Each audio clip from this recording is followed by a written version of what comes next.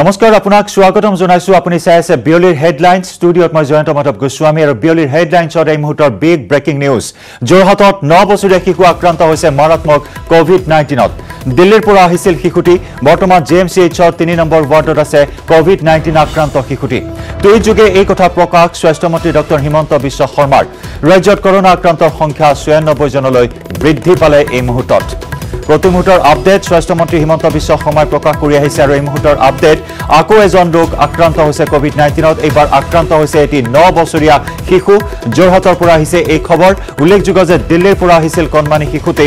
বৰ্তমান J M C এইচৰ তিনি নম্বৰ ৱাৰ্ডত চিকিৎসাধীন হৈ আছে ন বছৰীয়া শিশুটি। কিছু সময় পূৰ্বে টুইটযোগে এই কথা প্ৰকাশ কৰে স্বাস্থ্যমন্ত্ৰী ডক্টৰ হিমন্ত বিশ্ব শৰ্মাই। আৰু এই সংখ্যা ক্ৰমাৎ বৃদ্ধি পাই আছে কভিড নাইণ্টিনত আক্ৰান্তৰ সংখ্যা। চেঞ্চুৰী দিশলৈ গতি কৰিছে ৰাজ্যত কৰোণা তথা কভিড নাইণ্টিনত আক্ৰান্তৰ সংখ্যাই এই পৰ্যন্ত ৰাজ্যত ছয়ান্নব্বৈজনলৈ বৃদ্ধি পালে কভিড নাইণ্টিনত আক্ৰান্তৰ সংখ্যাই। বিগত চৌব্বিছ ঘণ্টাত সাতজনলৈ বৃদ্ধি পালে কভিড নাইণ্টিনত আক্ৰান্তৰ সংখ্যা। ৰাজ্যত গুৱাহাটী মহানগৰীত দুজনকৈ আক্ৰান্ত হৈছে কভিড নাইণ্টিনত কালিৰ দিনটোত। আৰু আজি এই মুহূৰ্তৰ খবৰ যোৰহাটৰ এটি ন বছৰীয়া শিশু আক্ৰান্ত হৈছে কভিড নাইণ্টিনত কিছু সময় পূৰ্বে স্বাস্থ্যমন্ত্ৰী ডক্টৰ হিমন্ত বিশ্ব শৰ্মাই টুইটযোগে প্ৰকাশ কৰিছে এই কথা। শেহতীয়াকৈ যোৰহাটত দুগৰাকীকৈ মহিলা কভিড নাইণ্টিনত আক্ৰান্ত হৈছিল।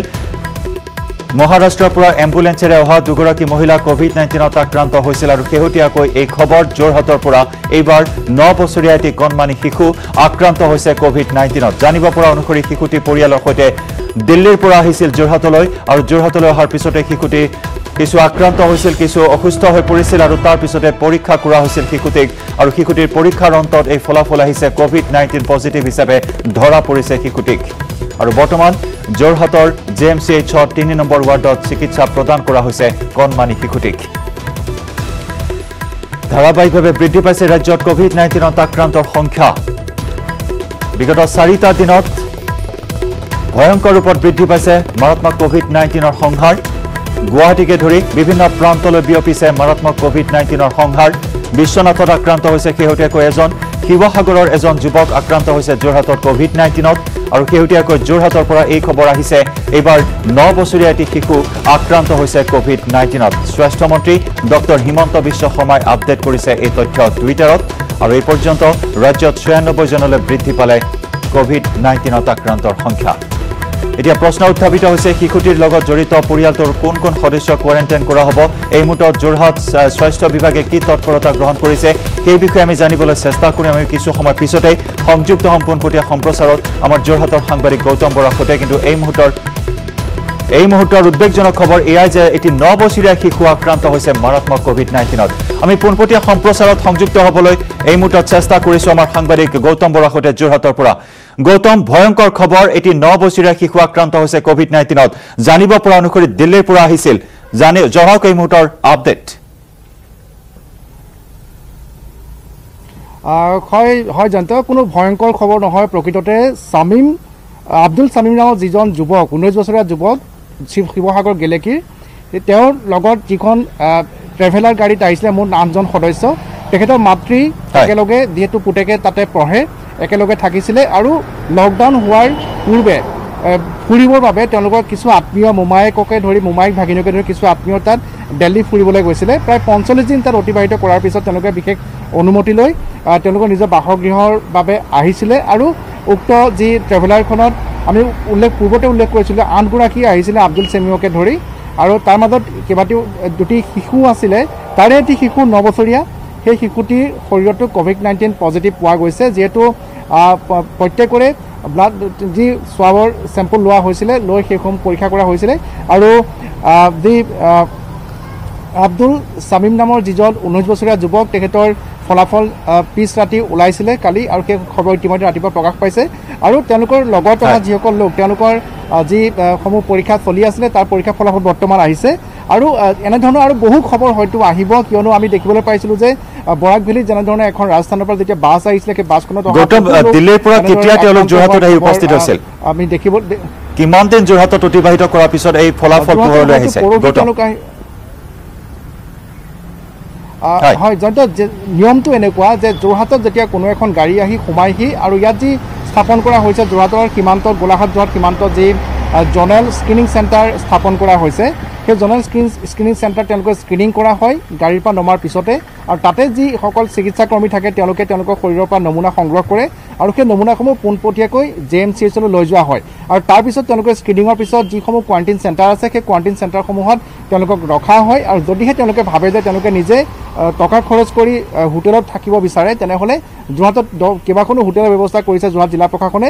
সেই হোটেলসমূহত সেইসকলক থাকিব পাৰে তেতিয়ালৈকেহে যেতিয়ালৈকে তেওঁলোকৰ শৰীৰৰ নমুনাসমূহৰ পৰীক্ষাৰ ফলাফল নাহে আৰু যেতিয়া ফলাফল ঋণাত্মক হয়। তেওঁলোকক হোম কোৱাৰেণ্টিনৰ বাবে তেওঁলোকৰ নিৰ্দিষ্ট গন্তব্যস্থানত নিজৰ বাসগৃহলৈ যাবলৈ দিয়া হয় আৰু যদি পজিটিভ ৰিজাল্ট আহে তেনেহ'লে তেওঁলোকক জে এম চি এছৰ যি ক'ভিড হস্পিটেল আছে তালৈ স্থানান্তৰিত কৰা হয় চিকিৎসা প্ৰদান কৰা হয় কিন্তু জয়ন্ত আমি দেখিবলৈ। পাইছোঁ যে যিগৰাকী যুৱক তেওঁৰ কোনো লক্ষণ নাই ক'ভিড নাইণ্টিনৰ কিন্তু তেওঁৰ শৰীৰত সেই ভাইৰাছবিধ থকাৰ তথ্য পৰীক্ষাত পোহৰলৈ আহিছে ঠিক সেইদৰে যিটি যিটো শিশুৰ কথা কোৱা হৈছে শিশুটিৰ শৰীৰতো।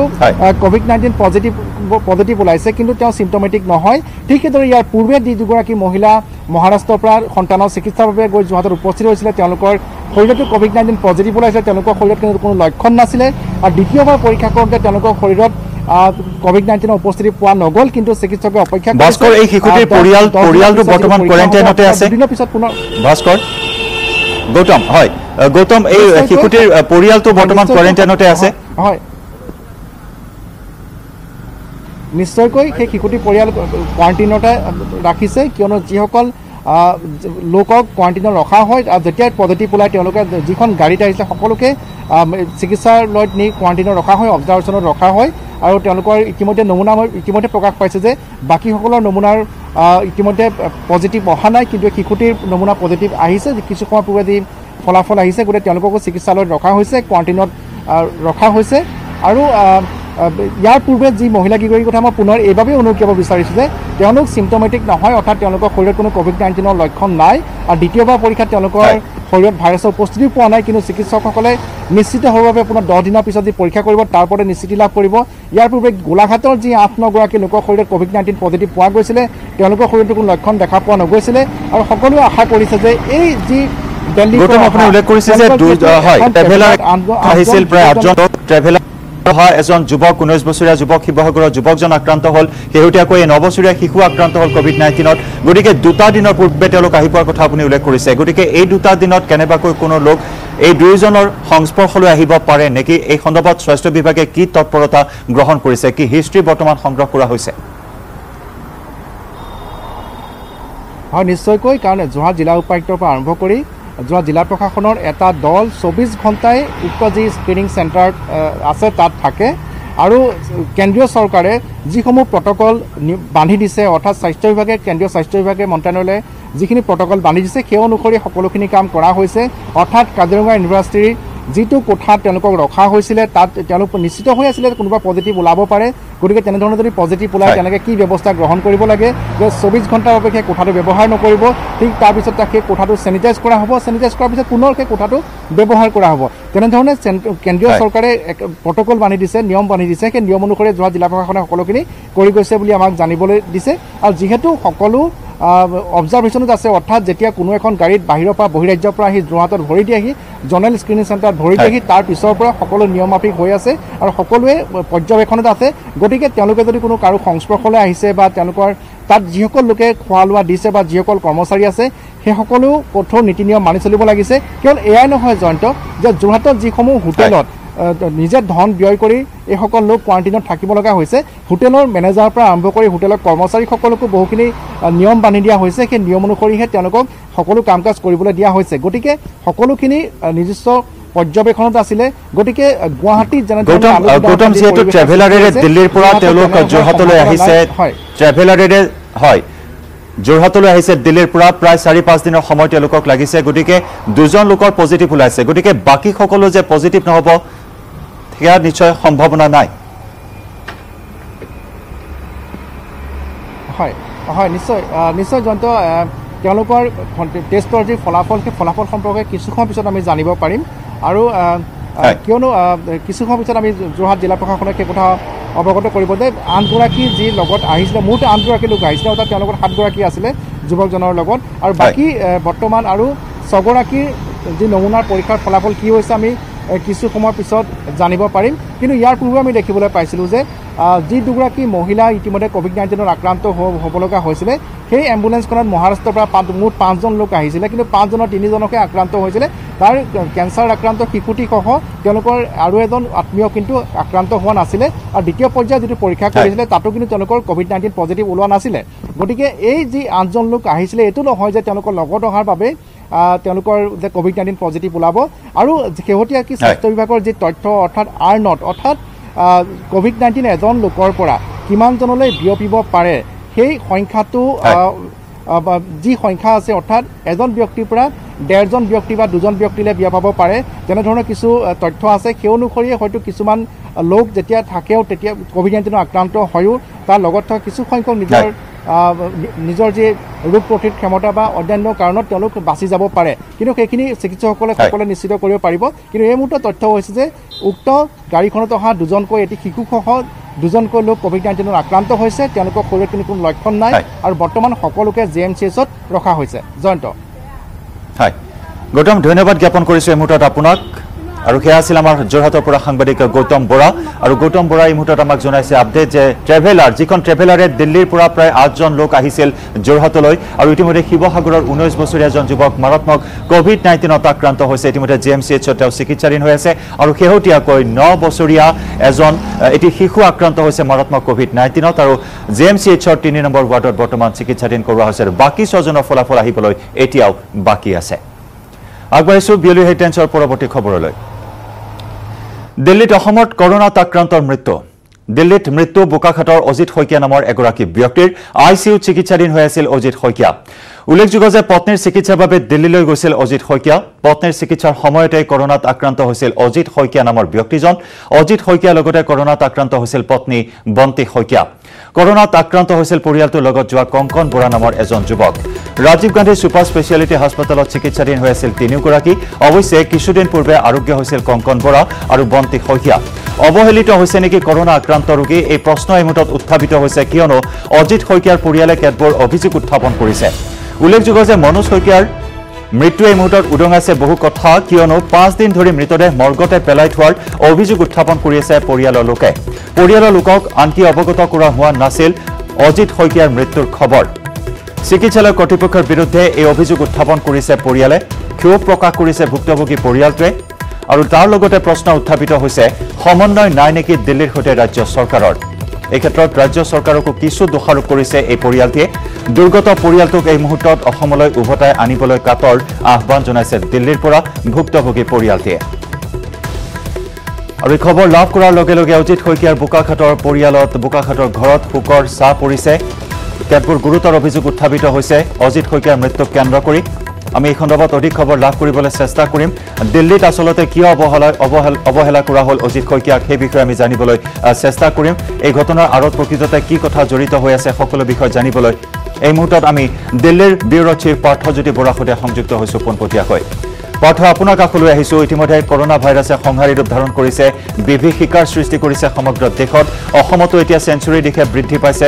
কভিড নাইণ্টিনত আক্ৰান্তৰ সংখ্যা। ঠিক তেনেদৰে দিল্লীতো আক্ৰান্ত হৈছে বহুকেইজন অসমীয়া। আৰু ইতিমধ্যে মৃত্যু হৈছে বোকাখাটৰ অজিত শইকীয়া নামৰ লোকজনৰ। আৰু পৰিয়ালৰ লোকে কেইবাটাও অভিযোগ উত্থাপন কৰিছে যে পাঁচদিন পূৰ্বেই তেওঁৰ মৃত্যু হৈছিল। মৰ্গত পেলাই থোৱা হৈছিল তেওঁৰ মৃতদেহ। পৰিয়ালক অৱগত কৰোৱা হোৱা নাছিল। পাৰ্থ। অসমীয়া কিমানজন লোক কৰোণা আক্ৰান্ত হোৱাৰ বিষয়টো উত্থাপন কৰিছে। ইয়াত প্ৰথমতে ভাল খবৰটো দিলো। চি আৰ পি এফৰ যিসকল অসমীয়া জৱান আক্ৰান্ত হৈছিল তাৰে নজন জৱান বৰ্তমান সুস্থ হৈ গৈছে চৈধ্য দিনৰ চিকিৎসাৰ অন্তত।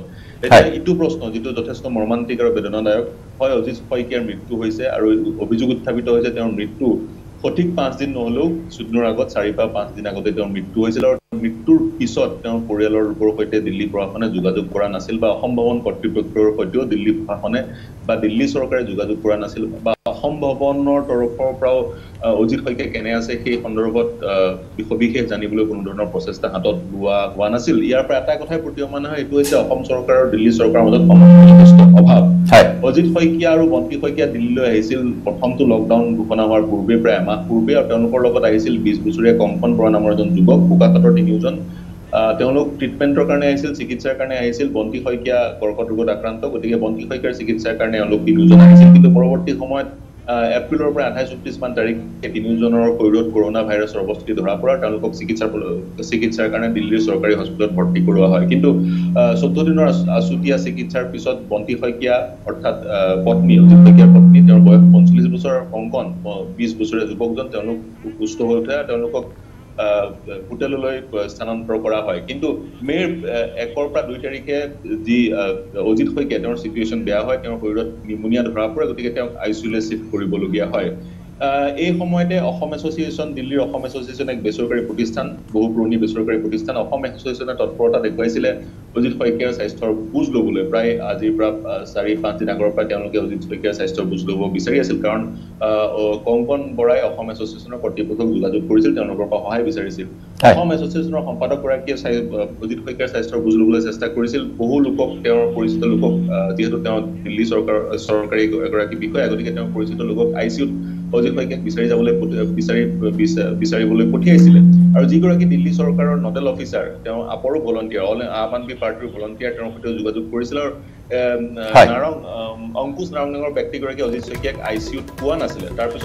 হয় পাৰ্থ পাৰ্থ আপুনি কিছু সময় আমাৰ সৈতে সংযুক্ত হৈ থাকিব। আমি পুনৰ আহিম আপোনাৰ কাষলৈ। আৰু বিয়লিৰ হেডলাইনছত আমি এই মুহূৰ্তত এটা খন্তেকমৰ বাণিজ্যিক বিৰতি ল'ম। আৰু বিৰতিৰ পিছত পাৰ্থ কাষলৈ পুনৰ আহিম আৰু লগতে বোকাখাটৰ পৰা প্ৰদ্যুৎ মহন্ত আমাৰ সৈতে থাকিব লাইভত। লৈছোঁ এটি চমু বাণিজ্যিক বিৰতি। আৰু বিয়লিৰ হেডলাইনছত আমি আপোনাক জনাই আহিছোঁ যে অসমৰ বোকাখাটৰ অজিত শইকীয়া নামৰ এগৰাকী ব্যক্তিৰ মৃত্যু হৈছে দিল্লীত। কভিড নাইণ্টিনত আক্ৰান্ত হয় আৰু ইয়াৰ লগে লগে কেইবাটাও দিশ উন্মোচিত হৈছে। আচলতে অৱহেলা কৰা হয় নেকি কভিড নাইণ্টিন আক্ৰান্ত ব্যক্তিক দিল্লীত? বিশেষকৈ অসমৰ ৰোগীসকলক অৱহেলিত কৰা হৈছে নেকি? এনে প্ৰশ্ন এই মুহূৰ্তত উত্থাপিত হৈছে অজিত শইকীয়াৰ মৃত্যুক কেন্দ্ৰ কৰি। আৰু এই বিষয়টো আমি আলোচনা কৰি আছোঁ আমাৰ দিল্লীৰ ব্যুৰ' চিফ পাৰ্থজ্যোতি বৰাৰ সৈতে আৰু পাৰ্থ আপুনি জনাইছে যে ৰাজীৱ গান্ধী মেমৰিয়েল ইনষ্টিটিউটত তেওঁলোকক চিকিৎসাধীন কৰোৱা হৈছিল আৰু তাৰপিছত তেওঁক কলৈ লৈ যোৱা হ'ল? আৰু পৰিয়ালৰ লোকে যি অভিযোগ উত্থাপন কৰি আছে সঁচাকৈয়ে ৰাজ্য চৰকাৰ আৰু দিল্লী চৰকাৰৰ মাজত সমন্বয় নাই নেকি? চৰকাৰ আৰু দিল্লী চৰকাৰৰ মাজত সমন্বয় নোহোৱাৰ বহুকেইটা উদাহৰণ আমি চকুৰ সন্মুখত দেখিবলৈ পাইছোঁ আৰু এটা জ্বলন্ত উদাহৰণ হৈছে অজিত শইকীয়াৰ মৃত্যু। আপুনি এই প্ৰশ্ন এটাৰ অৱতাৰণা কৰিছিলে। পূৰ্বতে তেওঁক ৰাজীৱ গান্ধী ছুপাৰ স্পেচিয়েলিটি হস্পিটেলত তেওঁৰ চিকিৎসা চলি আছিল কিন্তু তেওঁৰ নিমনিয়া তেওঁৰ শৰীৰত নিমনিয়া ধৰা পৰাৰ পিছত তেওঁক L N J P hospital অৰ্থাৎ লোকনায়ক জয়প্ৰকাশ নাৰায়ণ হস্পিটেললৈ স্থানান্তৰ কৰা হয়।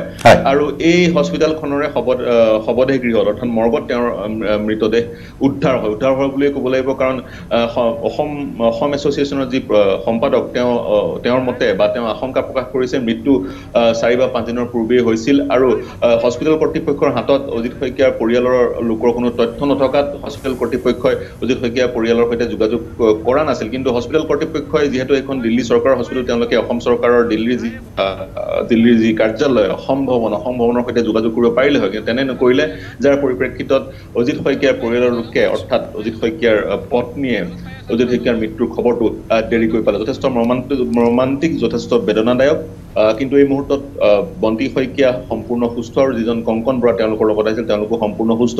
ইয়াৰ পিছত অজিত শইকীয়াৰ যি শৱদেহ সেই শৱদেহ কেনে শৱদেহ সৎকাৰ কৰা হ'ব বা শেষকৃত কৰা হ'ব যি ধৰণৰ প্ৰট'কল প্ৰট'কল বান্ধি দিছে শেষকৃত কৰাৰ সেই প্ৰট'কল অনুসৰি সৎকাৰ কৰা হ'ব সেয়াও যথেষ্ট বেদনাদায়ক হয়। পূৰ্বতেও আমি দেখিছিলোঁ কোনো পৰিয়ালৰ লোক যাব নোৱাৰে চৰকাৰী লোকে অতি সাৱধানতাৰে সেই নীতি নিয়মখিনি পালন কৰে। গতিকে যথেষ্ট মৰ্মান্তিক ঘটনা সমন্বয়ৰ যথেষ্ট অভাৱ অসম চৰকাৰৰ ফালৰ পৰা সমন্বয়ৰ অভাৱ। অসম চৰকাৰ দিল্লীস্থ যিটো কাৰ্যালয় অসম ভৱন সেই কাৰ্যালয়ত কোনো নীতি নিৰ্দেশনা নাই। কভিড কভিড কভিডত আক্ৰান্ত হোৱা লোকসকলৰ প্ৰতি বা যিসকল প্ৰৱজিত শ্ৰমিক আছে সেইসকলৰ ক্ষেত্ৰত কি পদক্ষেপ লোৱা হ'ব সেই সন্দৰ্ভতো কোনো অসম ভৱনৰ নীতি নিৰ্দেশনা নাই। এটা হেল্পলাইন মুকলি কৰা হৈছিলে সেই নম্বৰ ফোন কৰিলে কিন্তু কোনো সহযোগ পোৱা নাযায়। নিশ্চয় কোনো ধৰণৰ সহযোগ পোৱা নাযায় আৰু কালিৰ দিনটোতো আমি পাঠ দেখিবলৈ পাইছিলোঁ। বিকাশ গোস্বামী নামৰ শ্ৰমিকজনে কিন্তু কোনো ধৰণৰ সহায় সুবিধা তেওঁলোকে লাভ কৰিবলৈ সক্ষম হোৱা নাই। পাৰ্থ এই মুহূৰ্তত জানিব বিচাৰিম সেই ভুক্তভোগী পৰিয়ালটো। অজিত শইকীয়াৰ পত্নী বা তেওঁৰ পুত্ৰ বা আত্মীয় তেওঁলোক বৰ্তমান তাত দুৰ্গত অৱস্থাত আছে। তেওঁলোক ঘৰলৈ আহিবলৈ ইচ্ছা ইচ্ছা কৰিছে। এই ক্ষেত্ৰত ৰাজ্য চৰকাৰৰ তেওঁলোকে সহায় ভিক্ষা মাগিছে।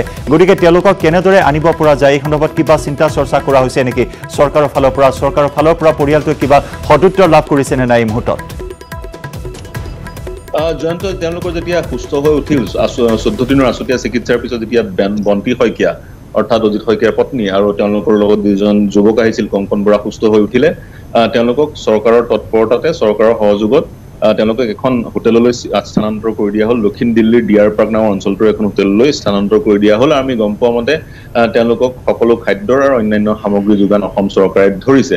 এতিয়া প্ৰশ্ন হয় তেওঁলোকক অসমলৈ কেনেকৈ লৈ যোৱা হ'ব এক বেচৰকাৰী প্ৰতিষ্ঠানে বাছৰ ব্যৱস্থা কৰি দিছে সেই বাছৰ যোগেদি তেওঁলোকক অসমলৈ লৈ যোৱা হ'ব পাৰে কিন্তু অসম চৰকাৰৰ ফালৰ পৰা অসমলৈ লৈ যোৱা কোনো পদক্ষেপেই দিল্লীত তেওঁলোকে গ্ৰহণ কৰা নাই বা তেওঁলোকৰ হাতত কোনো ধৰণৰ তেনেকুৱা ব্যৱস্থাই নাই। যদি যাব লগা হয় ট্ৰেইনত যাব লাগিব ট্ৰেইনৰ টিকেট তেওঁলোকে নিজে কাটিব লাগিব বাছত যদি যাবলগীয়া হয় বেচৰকাৰী প্ৰতিষ্ঠানৰ বাছত যাব লাগিব। ঠিক তেনেধৰণে যাব লাগিব গতিকে ফেচিলিটেট কৰি দিয়াৰ কোনো প্ৰক্ৰিয়াই নাই কিন্তু বন্তি শইকীয়াৰ ক্ষেত্ৰত বিষয়টো সুকীয়া হ'ব পাৰে? তাৰ কাৰণে পৰৱৰ্তী সময়ত হে আমি তেওঁলোকক কেনেদৰে অসম চৰকাৰে সহায় কৰে পৰৱৰ্তী ধন্যবাদ পাৰ্থক। ধন্যবাদ জনাইছো। ৰজিত শইকীয়াৰ মৃত্যুৱে কিন্তু ভয়াৱহ এখন ছবি প্ৰকাশ কৰিছে। কিয়নো দিল্লীত আবদ্ধ ৰোগী হওক বা অন্যান্য লোকসকল হওক এইখিনি মুহূৰ্তত কিন্তু ভীষণ সমস্যাৰ সন্মুখীন হৈছে। স্বগৃহলৈ আহিবলৈ তেওঁলোকে কোনো ধৰণৰ যোগাযোগ কৰি কিন্তু সুফল পোৱা নাই। ব্যাপক সমস্যাৰ জটিলতাৰ সন্মুখীন হৈছে আবদ্ধ হৈ থকা লোক তথা ৰোগীসকল। আৰু এই মুহূৰ্তত আমি বোকাখাটলৈ যাম। বোকাখাটত আছে আমাৰ সৈতে সাংবাদিক প্ৰদ্যুৎ মহন্ত লাইভত। প্ৰদ্যুৎ আপোনাৰ কাষলৈ আহিছোঁ। পৰিয়ালটোৱে বহুকেইটা অভিযোগ উত্থাপন কৰিছে। কি পৰিস্থিতিৰ সন্মুখীন হৈছিল দিল্লীত অজিত শইকীয়া আৰু তেওঁৰ পৰিয়াল?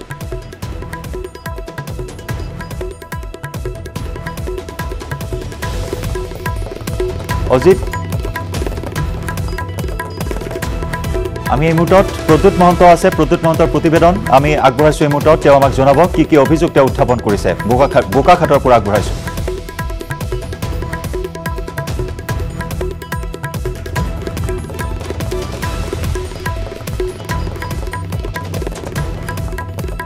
আমি পিছৰ আমি কিছু সময় পিছতে যোগাযোগ কৰিম প্ৰদ্যুৎ মহন্তৰ সৈতে আৰু এনেদৰে এতিয়া অজিত শইকীয়াৰ মৃত্যুক কেন্দ্ৰ কৰি কিছু প্ৰতিক্ৰিয়াৰ সৃষ্টি হৈছে আৰু সমান্তৰালকৈ উন্মোচিত হৈছে। বিভিন্ন দেশ কিয় এনেদৰে অৱহেলিত হৈছে অসমৰ ৰোগী বা বহিৰাজ্য বা বিশেষকৈ দিল্লীত আবদ্ধ হৈ থকা লোকসকল? আমি কিছু সময় পিছতে প্ৰদ্যুৎ মহন্তৰ সৈতে সংযুক্ত হ'বলৈ চেষ্টা কৰিম।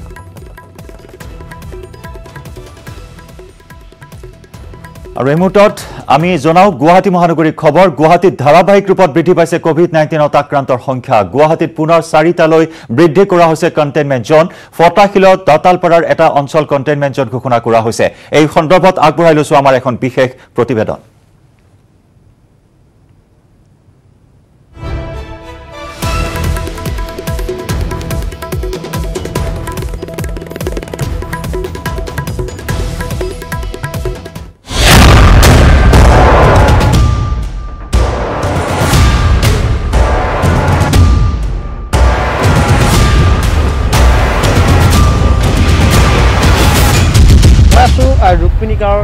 এছ কে বৰুৱা পথৰ দুই নং বালেনত আৰু দুই নং বালেনত ইতিমধ্যে যোৱাকালি নিশাই কণ্টেইনমেণ্ট জোন হিচাপে ঘোষণা কৰা আছিল য'ত আহ, ত্ৰিপুৰাৰ এগৰাকী ছাত্ৰীয়ে তেওঁ এগৰাকী বান্ধৱীৰ সৈতে ইয়াত ভাড়াতীয়া হিচাপে আছিল।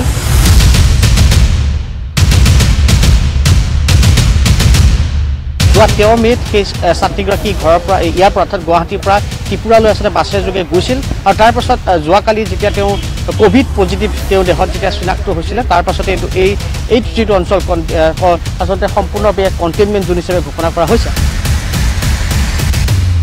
ৰাকেশ সিং যিহেতু আলু পিঁয়াজৰ ব্যৱসায়ৰ লগত জড়িত আৰু মই যি স্থানত উপস্থিত আছোঁ পতাহী লাম্বাৰী এই যি জলাৰাম মন্দিৰ আছে সেই জলাৰাম মন্দিৰৰ এই এইটো পথতে এইটো পথৰ আপুনি যি চাই তিনিমহলীয়া যি অট্টালিকাটো আছে তাৰ পিছফালৰ যিটো বিল্ডিং মোৰ সম্ভৱতঃ হয় যে কেমেৰা পাৰ্চন কথাতে দেখাইছে সেই বিল্ডিং পিছৰ বিল্ডিংটোতে তেওঁ বসবাস কৰিছিল আৰু তেওঁৰ পৰিয়ালৰ লগত সেই যিটো এপাৰ্টমেণ্ট আছে সেই এপাৰ্টমেণ্টত সাতটা পৰিয়াল বাস কৰিছিল একেলগে আৰু অভিজিত ৰয় নামৰ যিজন লোক আছে সেই লোকজনৰ লোকজনৰ বাসগৃহত তেওঁ ভাড়াতীয়া হিচাপে আছিল। আৰু মই ক'ব বিচাৰিম যে কালি দিনটোলৈকে কালি দিনটোলৈকে তেওঁ যিহেতু এই যি ওচৰ চুবুৰীয়া যিবোৰ দোকান আছে সেই দোকানত ঘূৰি ফুৰিছিল বুলি একাংশই ইতিমধ্যে অভিযোগ উত্থাপন কৰিছে। আৰু ক'ব বিচাৰিম যে কালি দিনটোলৈকে তেওঁ ক'ভিড নাইণ্টিন পজিটিভ পোৱা নাছিল কিন্তু নিশা ভাগত পোৱালৈকে পোৱাৰ সময়লৈকে বা অথবা বিয়লি ভাগলৈকে তেওঁ ঘূৰা ফুৰা কৰিছিল। কিন্তু এই মুহূৰ্তত যিভাগে ৰাইজ সজাগ আৰু যিভাগে সচেতন সচেতন হ'ব লাগিছিল কিন্তু তেনে ৰাইজ সজাগ আৰু সচেতন হোৱা এই মুহূৰ্তত দেখিবলৈ পোৱা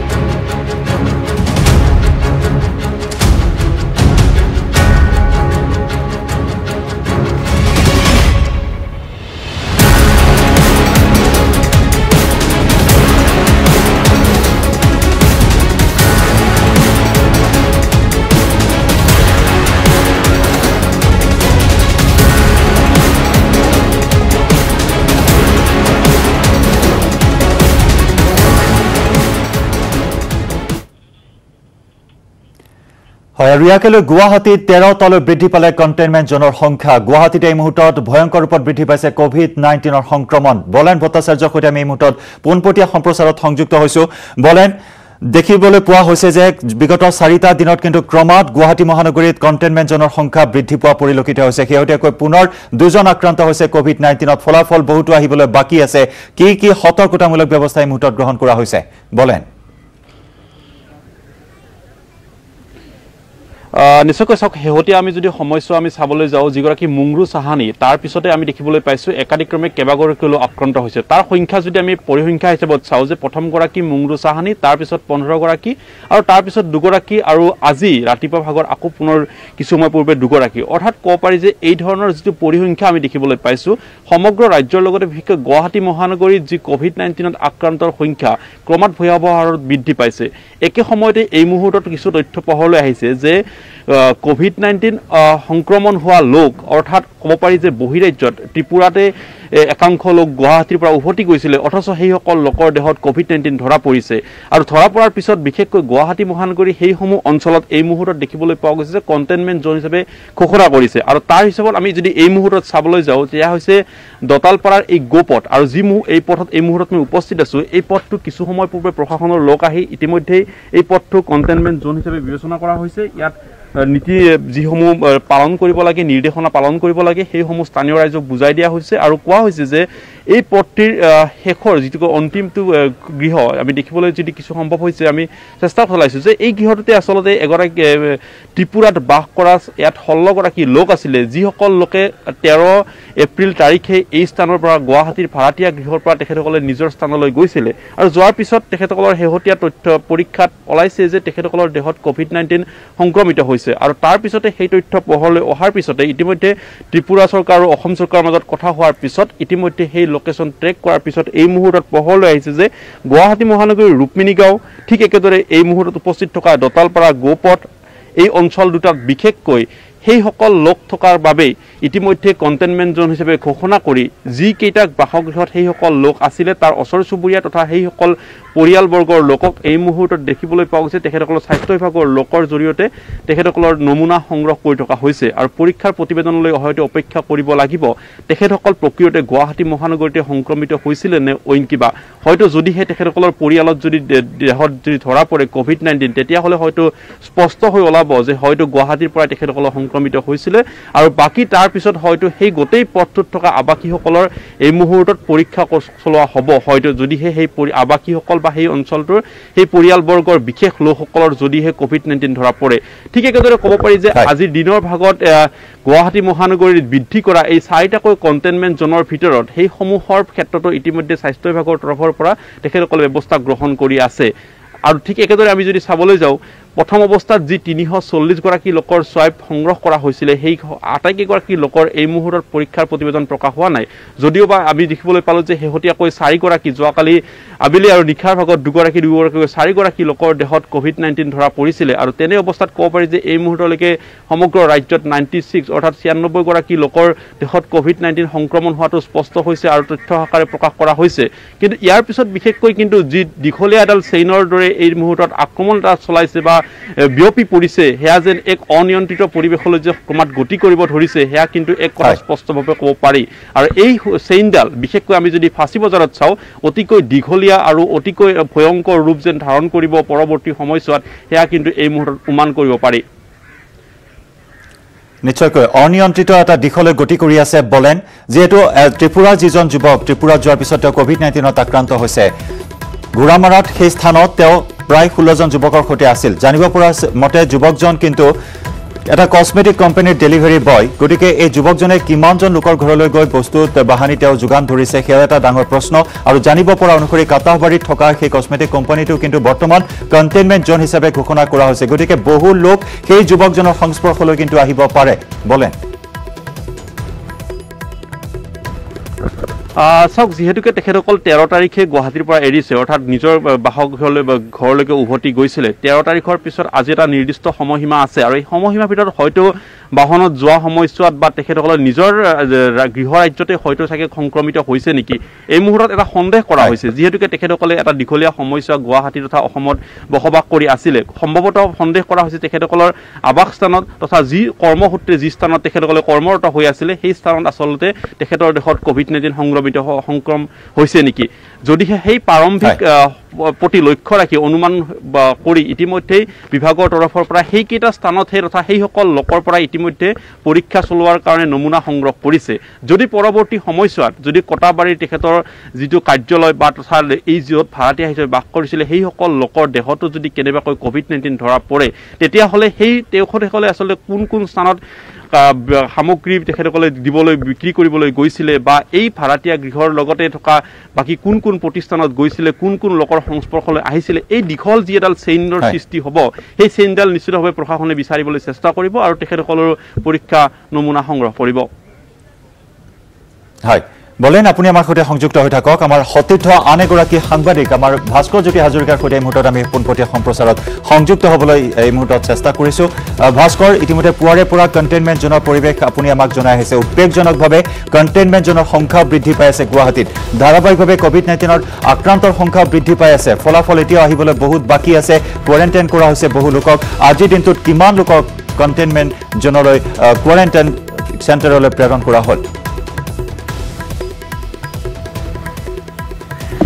নাই সেই সম্পৰ্কে এতিয়া এই মুহূৰ্তত কোনো তথ্য আপুনি নিশ্চিত তথ্য দিব নোৱাৰিব কাৰণ যিহেতু সেয়া অকল স্বাস্থ্য বিভাগৰ ফালৰ পৰা বা স্বাস্থ্যমন্ত্ৰীগৰাকীয়ে হয়তো সেই সকলো তথ্য দিব।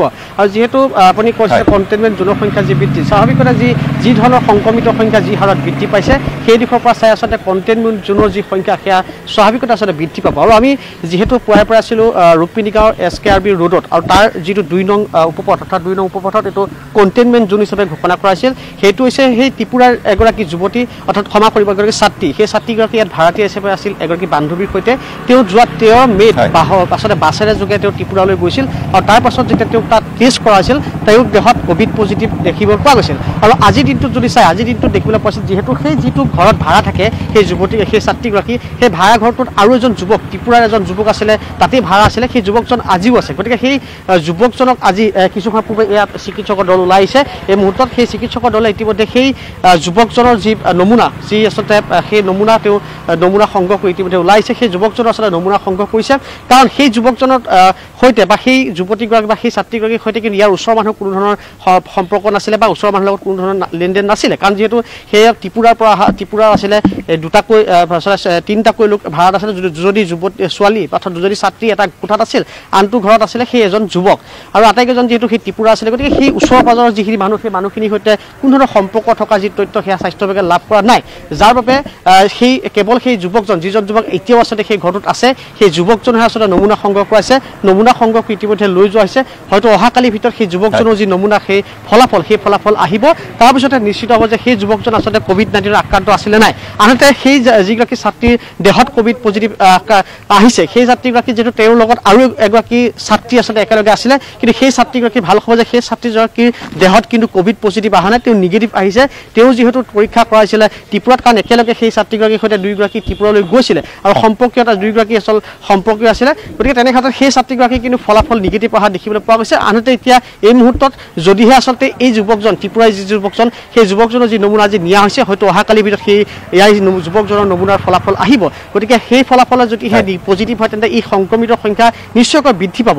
আৰু এইখিনিতে কৈ থওঁ যিহেতু সেই দিশটো চাই থকা হৈছে যিহেতু এই মুহূৰ্তত এই কাষত থকা যিসমূহ দোকান সেই দোকানসমূহ যিহেতু বন্ধ আছে। গতিকে আহ, প্ৰশাসনে বা স্বাস্থ্য বিভাগে এটা বস্তু নিশ্চয় কৰিব পাৰে যে সেই ছাত্ৰীগৰাকীয়ে এইকেইদিনত আচলতে কোনখন দোকানত তেওঁলোকে বজাৰ কৰিছিল কোন কোন স্থানলৈ গৈছিল যিহেতু ঘৰৰ ওচৰত কাৰো লগত সম্পৰ্ক নাছিল সেয়া নিশ্চিত কাৰণ আটাইখিনি মানুহকে সোধা পোছা কৰা হৈছিল। কিছু সময় পূৰ্বে স্বাস্থ্য বিভাগৰ লোক আহি সুধিছিলে যে আপোনালোকৰ সৈতে সেই ছাত্ৰীগৰাকীয়ে হওক বা সেই যুৱকজনে কিবা সম্পৰ্ক আছে নেকি বা আহিছিল নেকি কাৰোবাৰ ঘৰত সোমাইছে নেকি? কিন্তু এটা কথা কৈছে যে সেই যুৱকজন বা সেই যুৱতী দুগৰাকী অৰ্থাৎ সেই ছাত্ৰী দুগৰাকী এইখিনি এই যিটো গলি এই দুই নং উপপথৰ কাৰো লগত কোনো ধৰণৰ সম্পৰ্ক নাছিল তেওঁলোকে সম্পূৰ্ণ আচৰিত আছিলে।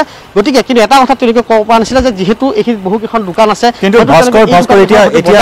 এতিয়াও কিন্তু নিশ্চিত হ'ব পৰা নাই ক্ষেত্ৰত ছাত্ৰীগৰাকী দৰাচলতে গুৱাহাটীত সংক্ৰমিত হ'ল নে ত্ৰিপুৰাত সংক্ৰমিত হ'ল সেয়াও কিন্তু এতিয়াও নিশ্চিত হ'ব পৰা নাই নিশ্চয়কৈ সেই সেয়া কিন্তু কোনো ধৰণৰ নিশ্চিত তথ্য নাই। যিহেতু তেওঁলোকে তেৰ তেৰ মে'ত তেৰ মে'ত তেওঁলোকে ত্ৰিপুৰালৈ গৈছিলে। ত্ৰিপুৰালৈ গৈ যেতিয়া তাত ত্ৰিপুৰাত আচলতে তেওঁলোকক তেওঁলোকৰ যি নমুনা তেওঁলোকৰ যি টেষ্ট সেই টেষ্ট কৰা হৈছিলে আৰু যোৱাকালি দিনৰ ভাগত আচলতে সেই টেষ্টৰ যি ফলাফল সেয়া আহিছিলে আৰু সেই ফলাফলতে আচলতে ছাত্ৰীগৰাকী যি পজিটিভ দেহত পজিটিভ দেখা গৈছিল। কিন্তু লক্ষণীয়ভাৱে সেই যিগৰাকী ছাত্ৰীৰ লগত আনগৰাকী যি বান্ধৱী আছিলে বা আনগৰাকী তেওঁৰ পৰিয়ালৰ যুৱতী আছিলে সেই ছাত্ৰীগৰাকী দেহত কিন্তু ক'ভিড পজিটিভ অহা নাছিলে। আৰু ডাঙৰ বিষয়টো আপুনি যিহেতু কৈছে যে এই মুহূৰ্তত কিন্তু এইটো অসম্ভৱ কোৱাটো যে সেই ছাত্ৰীগৰাকীৰ দেহত আচলতে গুৱাহাটীতে সেই কৰোণা পজিটিভ হৈ গৈছিল নে সেই ত্ৰিপুৰাত বা ৰাস্তাত ক'ৰবাত ক'ৰবাত ক'ভিড পজিটিভ হৈছিল সেয়া আচলতে কোৱাটো সম্ভৱ কাৰণ বাছখনত যিখন বাছত গৈছিলে সেয়া বহু বহু লোক আচলতে সেই সময়ত গৈছিলে আৰু সেই সময়ত গতিকে এইটো কোৱাটো অসম্ভৱ যে ছাত্ৰীগৰাকীৰ দেহত যি ক'ভিড পজিটিভ আহিল সেয়া প্ৰকৃততে বাছত ৰাস্তাত পথত হ'ল নে আন ক'ৰবাত হ'ল সেয়া কোৱাটো অসম্ভৱ কথা। যি নহওক সেই সমগ্ৰ যি বিষয়টো সেই বিষয়টো পৰ্যালোচনা কৰি আছে আৰু ইতিমধ্যে এই স্থানতো মই যিটো কৈছোঁ এই স্থানটো কণ্টেইনমেণ্ট জোন যিটো ঘোষণা কৰাইছে কিন্তু এটা কথা নিশ্চিত তেওঁলোকে বাৰে বাৰে আচলতে এইসকল লোকক সোধাইছিলে এই গলিটোৰ এই দুই উপভোক্তা মানুহৰ যে আপোনালোকৰ কাৰোবাৰ কিবা সম্পৰ্ক আছিল কিন্তু বাৰে তেওঁলোকে অস্বীকাৰ কৰিছে প্ৰতিটো কৰিলে যে তেওঁলোকৰ অলপ কোনো ধৰণৰ সম্পৰ্ক নাছিল। গতিকে সম্পূৰ্ণ সকলো সকলো আচলতে যি একাধিক্ৰমে আচলতে যি স্বাস্থ্য বিভাগে হওক আৰক্ষী সকলো বিষয়ে সোধ পোছ কৰি আছে। একাধিক্ৰমে মই যিহেতু কৈছোঁ যে যিগৰাকী যুৱকৰ সংগ্ৰহ কৰি আছোঁ যুৱকজন যিহেতু তাতে আছে সেই যুৱকজনৰ আচলতে নমুনা সংগ্ৰহ কৰা হৈছে। গতিকে সেই নমুনা ফলাফলত নিৰ্ভৰ কৰিব। আৰু এটা কথা কৈছোঁ যিগৰাকী ছাত্ৰীৰ দেহত ক'ভিড পজিটিভ দেখা দিছিলে সেই ছাত্ৰীগৰাকী কিন্তু আহ, ঘোঁৰামৰা এটা ব্যক্তিগত শিক্ষা প্ৰতিষ্ঠানত তেওঁ অধ্যয়নৰত আছিলে। সেই ব্যক্তিগত শিক্ষা প্ৰতিষ্ঠানটোৰ সৈতে এতিয়া ইতিমধ্যে স্বাস্থ্য বিভাগে যোগাযোগ কৰাৰ চেষ্টা চলাই আছে তেওঁলোকৰ সৈতে কথা পতাৰ চেষ্টা চলাইছে যে তেওঁ কিমান দিন ধৰি আচলতে সেই ছাত্ৰীগৰাকী তাত যোৱা নাছিল যিহেতু লকডাউনৰ পিৰিয়ড দীঘলীয়া পিৰিয়ড গতিকে সেই সময়ত হয়তো সেই ইনষ্টিটিউটটো হয়তো বন্ধ আছিলে। গতিকে তেনে ক্ষেত্ৰত সেই ছাত্ৰীগৰাকী কি ধন্যবাদ জ্ঞাপন কৰিছো ভাস্কৰ। লগতে বলেন আপোনালোকক দুয়োগৰাকীকে এই মুহূৰ্তত ধন্যবাদ জ্ঞাপন কৰিছো। আৰু এনেদৰে এতিয়া গুৱাহাটী মহানগৰীৰ যি সংক্ৰমণৰ ধাৰা বৃদ্ধি পাবলৈ ধৰিছে গতিকে সকলো দিশ তন্নতন্নকৈ চোৱা হৈছে। সকলো তথ্য সংগ্ৰহ কৰিবলৈ চেষ্টা চলাই থকা হৈছে। যুৱতীগৰাকী কেনেদৰে সংক্ৰমিত হ'ল সেই তথ্য সেই হিষ্ট্ৰী সংগ্ৰহ কৰাৰ প্ৰয়াস কৰা হৈছে আৰু এই মুহূৰ্তত তেৰটালৈ বৃদ্ধি পালে গুৱাহাটী মহানগৰীত কণ্টেইনমেণ্ট জ'নৰ সংখ্যা। খবৰ অব্যাহত থাকিব। বিয়লিৰ হেডলাইনছত পুনৰ সময় হৈছে আন এটি চমু বাণিজ্যিক বিৰতিৰ। আৰু ইতিমধ্যে আমি জনাই আহিছো যে বিশ্বনাথতো প্ৰথমগৰাকী কভিড নাইণ্টিনত আক্ৰান্ত ব্যক্তিক চিনাক্ত কৰা হৈছে। কভিড নাইণ্টিনত আক্ৰান্ত হৈছে কলকাতাৰ পৰা অহা এজন লোক। কৰোণা আক্ৰান্ত লোকজনৰ নাম হৈছে টোকাও গয়াৰী। টোকাও গয়াৰীৰ ঘৰ চতিয়া সমষ্টিৰ দুই ফাকুৰিগুৰিত। শুকুৰবাৰে কলকাতাৰ পৰা আহিছিল টোকাও। কলকাতাৰ এখন হোটেলত কৰ্মৰত আছিল টোকাও। ট্ৰাকেৰে অসমত প্ৰৱেশ কৰিছিল লোকজন। এ এছ টি চি বাছেৰে গুৱাহাটীৰ পৰা তেজপুৰৰ মিছন চাৰিআলিলৈ গৈছিল গয়াৰী। মিছন চাৰিআলিৰ পৰা টেম্পুৰে ঘৰলৈ গৈছিল গয়াৰী। কৰোণা আক্ৰান্তৰ সন্দেহত গাঁৱৰ ৰাইজে খবৰ দিছিল স্বাস্থ্য বিভাগক। চোৱা পৰীক্ষাত টোকাও গয়াৰীৰ দেহত ধৰা পৰিল কভিড নাইণ্টিন পজিটিভ।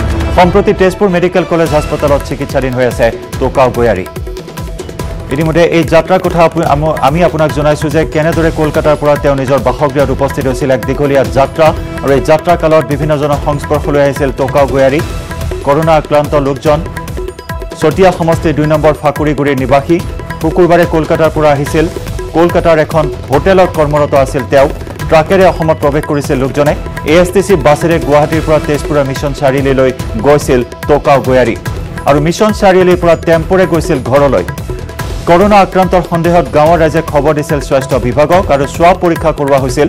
আৰু চোৱা চোৱা পৰীক্ষাত টোকাও গয়াৰীৰ দেহত ধৰা পৰে মাৰাত্মক কভিড নাইণ্টিন পজিটিভ।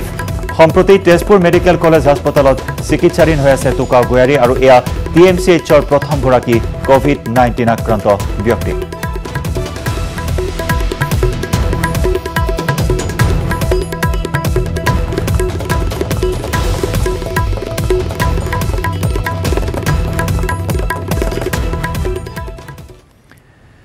ফেচবুকত এখন চিঠি আৰু এই চিঠিখনলৈ শিল্পী মানস ৰবীনৰ সঁহাৰি। ইয়াৰ পিছতেই তেলেংগানাৰ পৰা অসমত প্ৰৱেশ একচল্লিছজন লোকৰ। বাছখনত অহা লোকসকলৰ অধিকাংশই তেলেংগানাৰ বিভিন্ন কোম্পানীত কৰ্মৰত আছিল। তলা বন্ধৰ বাবে বিপদত পৰা দলটোৱে চৰকাৰৰ পৰাও কোনো সঁহাৰি নাপাই এখন বাছ ভাড়া কৰি অসম অভিমুখে যাত্ৰা কৰে এই দলটোৱে। বাছখনত আছে এগৰাকী দহমহীয়া গৰ্ভৱতী মহিলাও। দলটোৱে শিল্পী মানস ৰবীনৰ সৈতে যোগাযোগ কৰাত বাছৰ ভাড়া দিব বুলি প্ৰতিশ্ৰুতি দিয়ে শিল্পী মানস ৰবীনে। আৰু কিছু সময়ৰ পিছতে সৰুসজাই কোৱাৰেণ্টাইন চেণ্টাৰত উপস্থিত হ'বহি এই বাছখন। আমি পুনৰ এবাৰ জনাওঁ ফেচবুকত এখন চিঠি আৰু চিঠিখনলৈ শিল্পী মানস ৰবীনে সঁহাৰি জনাইছে। এই চিঠিখনত সহায় ভিক্ষা কৰা হৈছে এটা বৃহৎ দল অসমলৈ আহি আছে তেলেংগানাৰ পৰা। সহায় ভিক্ষা বিচাৰি তেওঁলোকে এই পত্ৰ লিখিছিল ফেচবুকত দিছিল আৰু এই পত্ৰখনলৈ সঁহাৰি জনাইছে শিল্পী মানস ৰবিনে। আৰু ইয়াৰ পিছতে তেলেংগানাৰ পৰা অসমত প্ৰৱেশ কৰিছে একচল্লিছজন লোকে। বাছখনত অহা লোকসকলৰ অধিকাংশই তেলেংগানাৰ বিভিন্ন কোম্পানীত কৰ্মৰত আছিল। তলা বন্ধৰ বাবে বিপদত পৰা দলটোৱে চৰকাৰৰ পৰা কোনো ধৰণৰ সঁহাৰি পোৱা নাছিল আৰু এখন বাছ ভাড়া কৰি অসম অভিমুখে যাত্ৰা কৰিবলৈ বাধ্য হৈছিল দলটোৱে। আৰু এই বাছখনতে আছে এগৰাকী দহমহীয়া গৰ্ভৱতী মহিলাও। এই দলটোৱে শিল্পী মানস ৰবীনৰ সৈতে যোগাযোগ কৰাত বাছৰ ভাড়া দিব বুলি প্ৰতিশ্ৰুতি দিয়ে শিল্পীগৰাকীয়ে। জানিব পৰা অনুসৰি আৰু মাত্ৰ কিছু সময় পিছতে সৰু সজাই কোৱাৰেণ্টাইন চেণ্টাৰত উপস্থিত হ'ব এই বাছখন। সকলোৱে এটাই কথা। আমাৰ অসম চৰকাৰৰ লগত যোগাযোগ কৰিছোঁ যদিও কোনো সহায় পোৱা নাই। সকলোৱে অসম চৰকাৰৰ লগত যোগাযোগ কৰিছে। তথাপিতো আমাৰ কোনো যোগাযোগ পোৱা নাই এতিয়ালৈকে। আমি তেলেংগানাতে আছিলোঁ। তেলেংগানা ৰাজ্যৰ পৰাও কোনোবা আমি একো সহায় নাপালোঁ। অসম চৰকাৰৰ পৰাও একো সহায় পোৱা নাই। আমি অসম চৰকাৰৰ ওপৰতনো কি ভৰসা কৰিম বুলি ভাবি সেইটো কাৰণে নিজে এটা সিদ্ধান্ত কৰিলোঁ সকলোৱে। আমি একচল্লিছজন যাত্ৰী বৰ্তমান অসমৰ অভিমুখে আহি আছোঁ তেলেংগানাৰ পৰা। একো সহায় নোপোৱাৰ কাৰণে একচল্লিছজন যাত্ৰী আমি সকলোৱে যি যেনেকৈ পাৰোঁ পইচা অলপ মানে মেনেজ কৰি আমি ঘৰৰ অভিমুখে এখন গাড়ী ভাড়া কৰি আহি আছোঁ। কিন্তু ইয়াতে আমাৰ আৰু এজন আমাৰ ব্যক্তিৰ লগত যোগাযোগ এজন আছিলে যেনে আমাৰ অসমৰ কণ্ঠশিল্পী মানৱ প্ৰবীণ তেখেতে আমাক যথেষ্টখিনি সহায় সহায় মানে সাহস সাহস দিছে আমাক যেনেকৈ নহওক আমি ইয়াৰ পৰা মানে তেলেংগানাৰ পৰা অভিমুখে আহি অসমৰ অভিমুখে আহি থাকোঁতে তেখেতে এটা কথা স্পষ্ট কৰিছে তহঁতি আহ যেনেকৈ নহয় আহ। তেখেতে আমাক যথেষ্টখিনি সাহস দিছে আমি আছিলোঁ হায়দৰাবাদ হাইটেক চিটি এটা ছফ্টৱেৰ কোম্পেনীত। অলৰেডি যেতিয়াৰ পৰা লকডাউন হৈ গ'ল তেতিয়াৰ পৰা আমাৰ কোম্পেনী অলৰেডি বন্ধ হৈ গ'ল। বন্ধ হৈ যোৱাত আমি বহুত মানে সন্মুখীন হ'বলগীয়া হৈছে পইচা পাই ক্ষেত্ৰত খোৱা বোৱা লোৱা থোৱাত অলৰেডি আমাৰ তেলেগুৰ যিখন মানে ৰাজ্যত তেলেগুৰ মানুহে ৰুম ভাড়া কম্পালচৰি দিবই লাগে তেওঁলোকক নিদিলে নহয় বিচাৰি থাকে নন ষ্টপ পইচা দে কাৰণ কৈছিলে যে গভমেণ্টে কৈছিলে যে ৰুম ভাড়া নালাগে বুলি। কিন্তু তেওঁলোকে এটাই বিচাৰিছে আমি সেইটো নাজানো আমাক ৰুম ভাড়া লাগিবই। ফিফটি পাৰ্চেণ্টৰ ওপৰত হ'লেও আমাক লাগিব কৈছিলে। কিন্তু চৰকাৰে কৈছিলে ফিফটি পাৰ্চেণ্ট দিলেও হ'ব কিন্তু তেওঁলোকে সেইটোও মনা নাই। অলৰেডি ফুল পে' দিব লাগিব ৰুম ভাড়া। আৰু আমি যিহেতু দুমাহ দিন লকডাউনত আবদ্ধ হৈ গ'লোঁ কোম্পানী বন্ধ হৈ গ'ল। যিমানকেইজন শ্ৰমিক আছিল আমাৰ কোম্পানীটো চবেই অলৰেডি আবদ্ধ হৈ গ'ল। ঘৰৰ পৰা পইচা মাগি পেলাই আমি খোৱা লোৱা কৰিবলগীয়া হ'ল। অথচ আমি যিহেতু এতিয়া আহিবলৈ আমাৰ যিহেতু পইচা নাই পইচা নাইকিয়া অৱস্থাত আমি ঘৰৰ পৰা পইচা বিচাৰি ঘৰৰ পৰা আমাৰো ঘৰৰ আৰ্থিক অৱস্থা ভাল নহয়। ঘৰৰ পৰা পইচা বিচাৰি আমি যিহেতু এতিয়া ফৰ্টি ওৱান মেম্বাৰ্ছ আমি আহিছোঁ অসম অভিমুখে। অলৰেডি পাই গ'লোঁ শ্ৰীৰামপুৰ গেটত। আৰু ইফালে তলাবন্ধৰ মাজতে ছ'চিয়েল মিডিয়াত চৰ্চা লাভ কৰিছে মাষ্টাৰ ব্লাষ্টাৰ শচীন তেণ্ডুলকাৰৰ এটা ভিডিঅ'ই। আৰু এই ভিডিঅ'ত ইজনে সিজনক হাতত ক্ৰিকেট বেট বল লৈ চেলেঞ্জ কৰা দেখিবলৈ পোৱা হ'ল। প্ৰথমে যুৱৰাজ সিঙে শচীন তেণ্ডুলকাৰলৈ এটা চেলেঞ্জ দিলে আৰু এই চেলেঞ্জ পূৰণ কৰিলে মাষ্টাৰ ব্লাষ্টাৰ শচীন তেণ্ডুলকাৰে। চকুত কলা কাপোৰ বান্ধি বেট বলৰ এই চেলেঞ্জ পূৰণ কৰিলে মাষ্টাৰ ব্লাষ্টাৰ শচীন তেণ্ডুলকাৰে আৰু এই চেলেঞ্জ পুনৰ কৰি চেলেঞ্জ পূৰণ কৰি পুনৰ আন এটা চেলেঞ্জ দিলে সতীৰ্থ যুৱৰাজ সিঙক तूने बहुत इजी ऑप्शन दिया था इसलिए मैं तुझे थोड़ा डिफिकल्ट ऑप्शन दे रहा हूँ तुझे नॉमिनेट कर रहा हूँ my friend come on do it for me बड़ी यूवी चैलेंज मैंने एक्सेप्ट कर लिया था और वापस तुझे चैलेंज कर रहा हूँ ये पट्टी लगा के मगर उसी के साथ I am also giving you a recipe my friend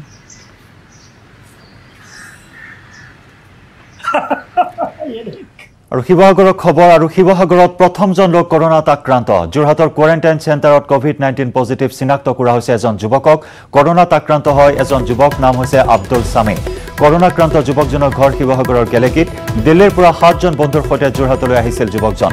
দিল্লীৰ পৰা ট্ৰেভেলাৰেৰে যোৰহাটলৈ গৈছিল যুৱকজন। কাজিৰঙা বিশ্ববিদ্যালয়ৰ কোৱাৰেণ্টাইন চেণ্টাৰত আছিল যুৱকজন। উল্লেখযোগ্য যে দিল্লীৰ পৰা আঠ অহা আঠজন লোকৰ চোৱা পৰীক্ষা কৰা হৈছিল আৰু শেহতীয়া আপডেট আমি জনাইছোঁ যে এই আঠজনৰ ভিতৰত আছিল এটি ন বছৰীয়া শিশু আৰু সেই শিশুটিও বৰ্তমান কভিড নাইণ্টিনত আক্ৰান্ত হোৱাৰ খবৰ জনাইছে। স্বাস্থ্যমন্ত্ৰী হিমন্ত বিশ্ব শৰ্মাই। আৰু এই চোৱা পৰীক্ষাতে শিৱসাগৰৰ যুৱকজনৰ কভিড নাইণ্টিনত নাইণ্টিনত আক্ৰান্ত হোৱাৰ তথ্য লাভ কৰা হৈছে। বৰ্তমান জে এম চি এইচৰ কভিড হাস্পতালত চিকিৎসাধীন কৰোৱা হৈছে যুৱকজনক।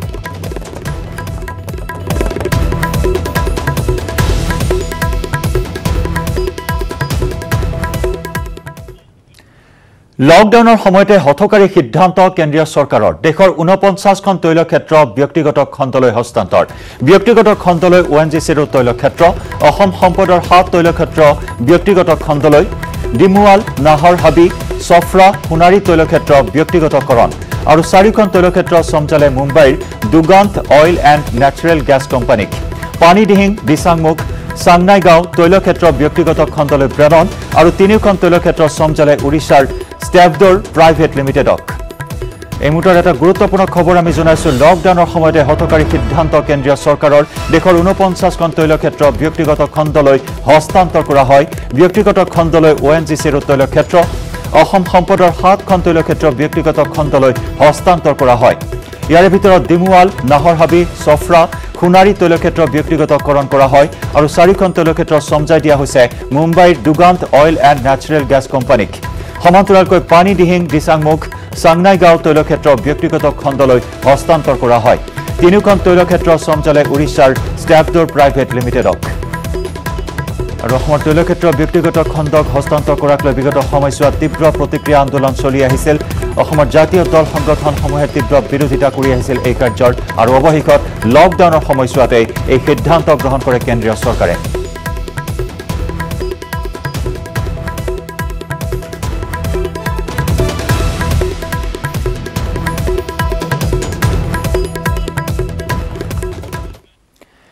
তেজপুৰৰ মিছন চাৰিআলিৰ পৰা টেম্পুৰে ঘৰলৈ গৈছিল টুকাও গোয়াৰী। টুকাও গোয়াৰী সন্দৰ্ভত আমি পুনৰ জনাইছোঁ আপডেট। নিউজ এইটিনে বিচাৰি উলিয়াইছে টুকাও গোয়াৰীৰ ঘৰলৈ যোৱা টেম্পুখনৰ চালকজনক।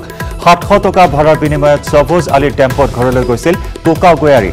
ছবজ আলীৰ ঘৰ পাতিয়া চুবুৰীত। ইপিনে টুকায়ো ভাড়া কৰাৰ দিনাখন টেম্পুখন চলাইছিল কেটেকীবাৰীৰ কৃষ্ণ বৰা নামৰ আন এজন যুৱকে। মিছন চাৰিআলিৰ পৰা বালিজুৰিলৈ গৈছিল টুকাও গোয়াৰী। টুকাও কৰোণাত আক্ৰান্ত হোৱাৰ পিছতে অঞ্চলজুৰি সৃষ্টি হৈছে এতিয়া তীব্ৰ চাঞ্চল্য।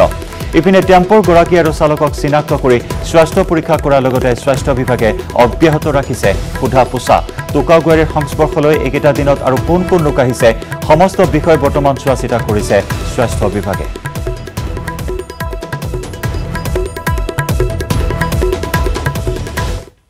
তুমি চলাইছিলা টেম্পোখন ক'লৈকে লৈ গৈছিলা? বালিজুৰি কিমান টকাত ভাড়া নিছিলা? সাতশ টকা মই ড্ৰাইভ কৰা নাছিলোঁ ড্ৰাইভ মোৰ লগৰজনে কৰিছিল অঁ মই বহিয়ে আছিলোঁ। কি নাম তোমাৰ? মহম্মদ চবুজানী এতিয়া তুমি তাৰ পিছততো ভাড়া মাৰি আছা। ক'লৈ ক'লৈ গৈছা? গংপা গৈছিলোঁ। তাৰপিছত যোৱাকালি জামুগুৰি বালিপাৰা। আজি ক'ত আছিলা? ঘৰতে আছিলোঁ ইমানে ঘৰৰ পৰা ওলাই আহিছোঁ। এতিয়া কেনেকৈ গম পালা তুমি? ফোন কৰিছে লগৰখিনিয়ে যে এনেকৈ এনেকৈ তোমাক মাতিছে মিছন চাৰিআলি। অঁ। তাৰমানে তুমি লৈ যোৱাটো এতিয়া কনফাৰ্ম হ'লা সেই মানুহজনক নিয়াটো? মানুহজন কোনজন মানুহটো চকল দেখিলে গম পাম যে সেইজন হয় নহয় তুমিতো লৈ গৈছা। গুৰুত্বপূৰ্ণ খবৰ বহিৰাজ্যত অসমৰ তিনি ত্ৰিছ এক ঊনচল্লিছজনকৈ যুৱক সন্ধানহীন হৈছে। সন্ধানহীন যুৱক কেইজন গোলাঘাটৰ মেৰাপানীৰ বুলি জানিব পৰা হৈছে। চেন্নাইৰ পৰা চাইকেলেৰে আহি আছিল গৃহভূমিলৈ। দুটা ভাগত বিভক্ত হৈ আহি আছিল যুৱকসকল। বাটত যুৱকসকলক সোধা পোছা কৰিছিল অন্ধ্ৰপ্ৰদেশ আৰক্ষীয়ে। পাছত যুৱককেইজনক পুনৰ এখন ট্ৰাকত উভতাই পঠাই চেন্নাইলৈ। আৰু ফোনযোগে এই কথা জনাৰ পিছতো পুনৰ চেন্নাইলৈ উভতি গৈছিল দ্বিতীয়টো দল। আৰু তেতিয়াৰে পৰাই পৰিয়ালৰ সৈতে যোগাযোগ বিচ্ছিন্ন হৈ পৰিছে এইসকল যুৱকৰ। যুৱকসকল সন্ধানহীন হৈ পৰা তেতিয়া পৰিয়ালৰ মাজত লাগিছে হাহাকাৰ। অত্যন্ত উদ্বেগজনক এটি খবৰ আমি জনাইছোঁ। ইয়াৰ পূৰ্বে আমি জনাইছিলোঁ যে বিভিন্ন প্ৰান্তত বহিৰাজ্যত আবদ্ধ হৈ থকা শ্ৰমিক বা যুৱকসকলে কৰ্মহীনতা হৈ এইসকল যুৱকে গৃহ অভিমুখে ৰাওনা হৈছে। কোনোৱে খোজকাঢ়ি আহিছে কোনোৱে চাইকেলেৰে আহিছে। খোজকাঢ়ি অহা দুজনকৈ যুৱকৰ ইতিমধ্যে মৃত্যু হৈছে আৰু শেহতীয়াকৈ এই খবৰ আহিছে যে ঊনচল্লিছজনকৈ যুৱক বৰ্তমান সন্ধানহীন হৈ আছে। সন্ধানহীন যুৱককেইজন গোলাঘাটৰ মেৰাপানীৰ চেন্নাইৰ পৰা চাইকেলেৰে আহি আছিল গৃহভূমিলৈ। দুটা ভাগত বিভক্ত হৈ আহিছিল ঊনচল্লিছজনীয়া এই যুৱকৰ দলটো। বাটত যুৱকসকলক সোধা পোছা কৰিছিল অন্ধ্ৰপ্ৰদেশৰ আৰক্ষীয়ে। পাছত যুৱককেইজনক পুনৰ এখন ট্ৰাকত উভতাই পঠাই চেন্নাইলৈ। ফোনযোগে এই কথা জনাৰ পিছতো পুনৰ চেন্নাইলৈ উভতি গৈছিল দ্বিতীয়টো দল আৰু তেতিয়াৰে পৰা পৰিয়ালৰ সৈতে কোনো যোগাযোগ নাই এই যুৱকসকলৰ। যুৱকসকল সন্ধানহীন হৈ পৰা তেতিয়া পৰিয়ালসমূহৰ মাজত লাগিছে হাহাকাৰ।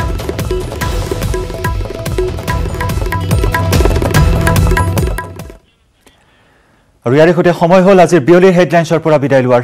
নমস্কাৰ।